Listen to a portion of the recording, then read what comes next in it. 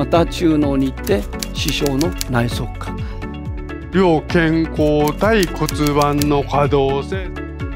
理解が良好、ね、理解は良好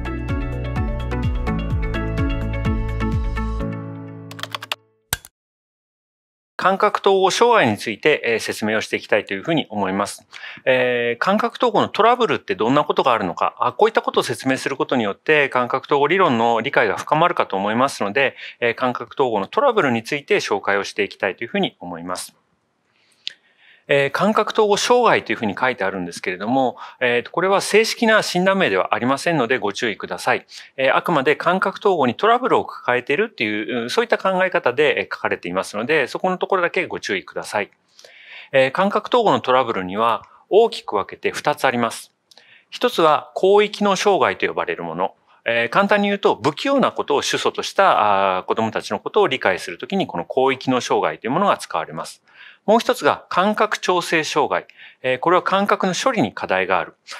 感じすぎてしまう。要は過敏なタイプだったりとか、感じにくいタイプ。こういったことたちを、こういった子供たちをまとめて、感覚調整障害という名前で呼んでいきます。今日はこの二つを大きくざっくりと説明をしていきたいというふうに思います。診断名、診断概念の変更ということで紹介をしてありますけれども、この感覚のトラブルについてですね、感覚とのトラブルについては、まあ、エアーズさんが1960年代からもずっと研究をしているように、え、ー、と、長いこと実践現場の中では知られてきました。けれども、なかなかそれが正式な形で取り上げられることは今まであまりありませんでした。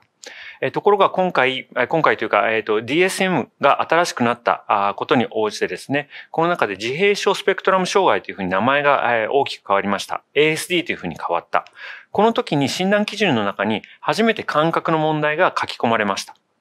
えー、ちょっと読みます。感覚入力に対する敏感性、あるいは鈍感性、あるいは感覚に関する環境に対しての普通以上の関心ということが、えー、診断基準の中に入ることになりました。感覚入力に対する敏感性。これはあの感じすぎ、過敏なタイプのことになります。それから鈍感性。これはちょっと感じにくいタイプの子ですね。この二つは今日中心に説明をしていきます。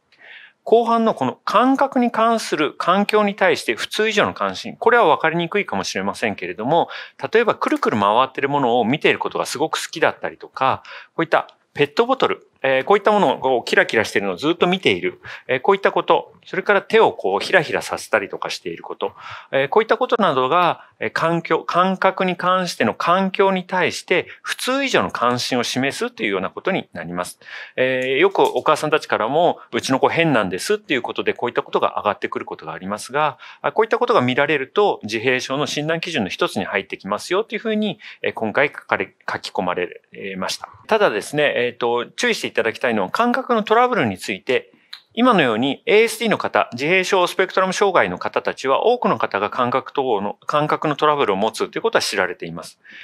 これは、え、ー、と、よく言われていることなんですけれども、逆は、え、ー、と、必ずしもそうではありませんということです。感覚のトラブルを持つ人の全てが ASD かというと、そうではないということですね。えー、感覚統合のあ、感覚のトラブル、感覚統合のトラブルは、他の障害の場合でもたくさん持っている人がいます。それから、定型発達の場合でもトラブルを持っている人はたくさんいます。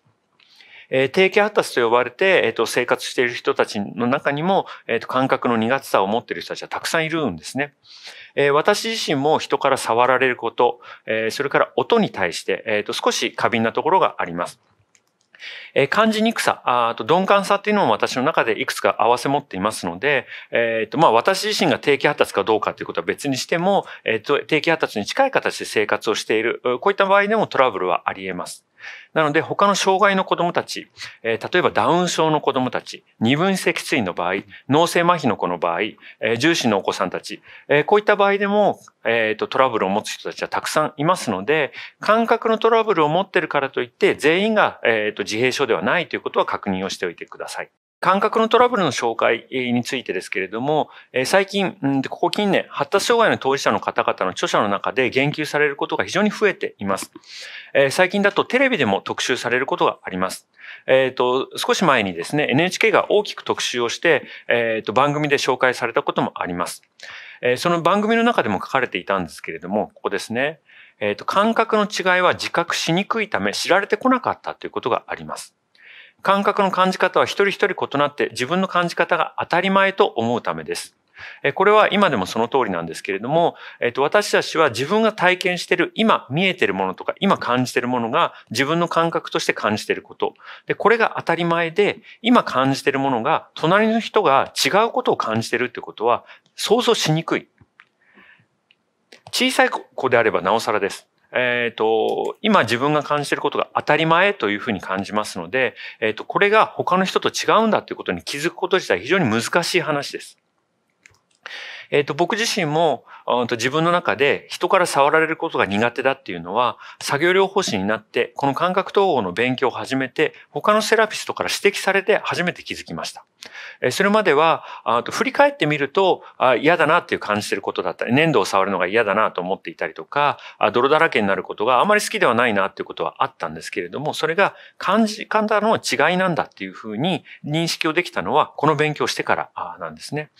そう思うと子供たち自身が自分の感じ方ってちょっと他と違うんだなんていうことを自覚するっていうのは非常に難しいことだというふうに思っています。えかつて発達障害は子供を中心に研究されてきたが、発達障害と診断される大人が増え、感覚に関する違和感を訴えるようになってきたことで広く共有されるようになってきたということがテレビの中でも言及されていました。